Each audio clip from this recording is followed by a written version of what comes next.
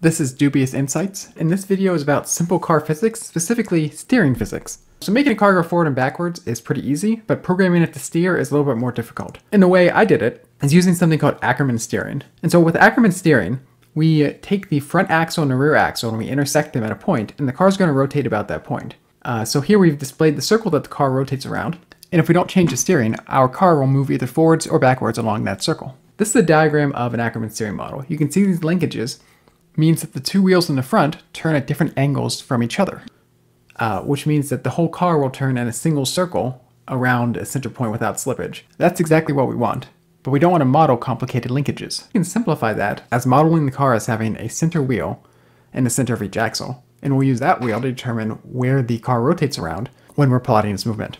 So if we hide the uh, cars and just show their outlines, we can see these lines go to the center of the axles.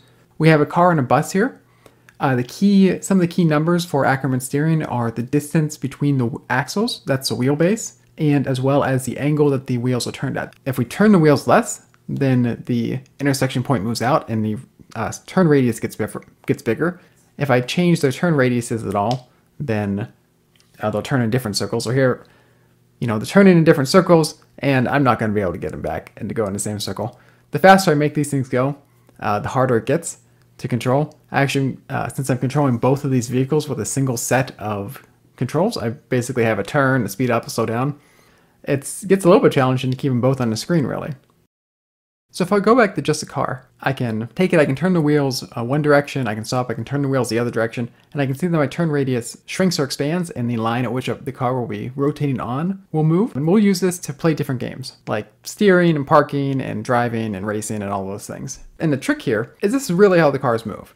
There's not going to be any side slippage. The wheels are always going to be moving in the forward direction, which is what you want out of a real car, and that's what we want out of our programmed car. Now I don't have those games right now, but what I do have is just a background with a parking lot and a road. And what I'm gonna try to do is I'm gonna try to park this car in this spot right here. This is an empty parking lot, you know, because of COVID, but let's pretend that this was actually a full parking lot and I'd rather not hit everybody else. And we'll see how we can do. I'm already doing badly. This is a little harder than it looks without, uh, without the lines on there. It gets much easier if I were to turn on the turning lines. Yeah, I'm doing horrible. So I'm gonna turn on my lines, turn on my circle, and now this car is actually a little bit easier to park. Because I can see where it's going. And we got the car in the spot without hitting without hitting too many other cars. The car's actually quite hard to quite hard to steer well when you uh, don't have the outlines or the lines on. And if you think the car is hard to steer well, the bus is really hard to steer well. It turns out the bus will fit if I put it in two parking spots. So I'll try to go for these two parking spots, the middle of the middle, and see how well we can do. Probably already clipped the car there. Hopefully the kids won't report me. And that wasn't good because I would have definitely, definitely hit somebody. Yeah, okay, this is not super easy. I'm, turn, I'm cheating. I'm turning on a cheat. Okay, so I've got to turn in this way.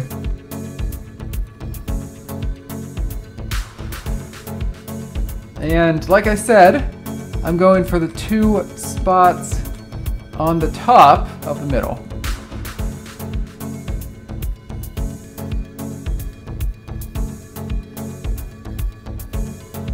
And there we go.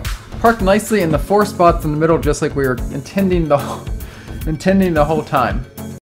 The way Ackermann steering works, we modeled the wheel in the center of the axles, one in the front, one in the rear. The angle that we turn the wheel, so here we've turned the wheels 33 degrees. That angle is also going to be the angle uh, that these two lines are at. So effectively we have a triangle. It comes off of the rear axle line, the front axle line, and then a line between them. The front axle, the front middle tire, is always going to be traveling on the radius of this green line, and the rear axle tire will always be traveling on the radius of this blue line. So since we know the length between the wheelbase, here it's 2.875 meters, the green line is going to be 2.875 meters divided by the sine of our steering angle, in this case 33 degrees. And that gives us this 5.28 meter steering radius. And the blue line is going to be the green line times the cosine of that angle. And so what we're doing is every time step, we're updating the location of this car at whatever frequency we want. I have mine programmed at 60 times per second. And so every 1 60th of a second, we will take this car's speed, move it a distance based upon the, the direction that it's pointing, and then we'll update its angle based upon how far that distance would be around the circumference of this circle. So if that distance took it 90 degrees around the circle like this, then we would update that angle to be 90, uh, 90 degrees different. And Pygame, which is what I'm using to program this, will uh, rotate it an additional 90 degrees. I would show the code for this, but I actually uh, learned this from a great tutorial, and I will paste a link to that tutorial in the description. I'd love to get things like collisions and uh, you know interactions programmed in, but that will be a next step. All right, this is Dubious Insights. Thanks for watching.